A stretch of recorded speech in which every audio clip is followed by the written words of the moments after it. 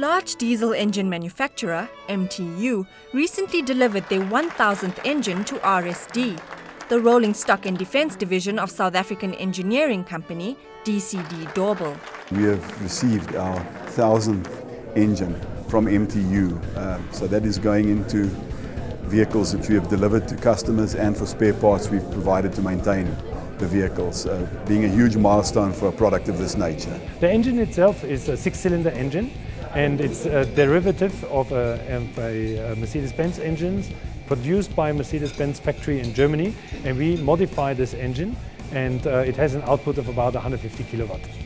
The engine will be fitted into RSD's prized product, the Husky. The vehicle is used to clear routes in military operations, making a safe passage for military and civilian personnel. The Husky vehicle was developed as part of a system known as the Chubby system, which was initially developed for the old South African Defence Force in the late 70s and early 80s to clear routes in uh, northern Namibia and Angola of landmines. And um, it has been bought by a number of countries worldwide, Uganda, uh, Australia, France, um, England or Great Britain has brought, this as well, and the United States of America has been the, yeah, the greatest customer for this, this product at the end of the day. I am very pleased that our Department of Defense has decided to purchase new South African demining vehicles called the Chubbies. The vehicles will help us to remove mines more quickly, more safely, and more effectively. And it's been very, very successful in low intensity conflicts and post uh, conflict situations throughout the world in clearing routes of landmines and unexploded ordnance.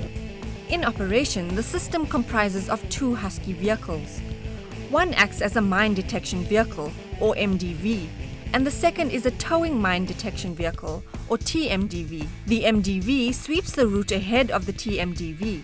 Integral detectors signal the presence of a landmine as the vehicle drives over its location. Once a suspected target has been detected, the MDV marks its location and moves forward to clear the way for the disposal team. The vehicle is um, designed to detect uh, landmines or buried metal objects and low content metal objects. It is also designed to overpass uh, explosive devices or specifically pressure fused anti-tank mines.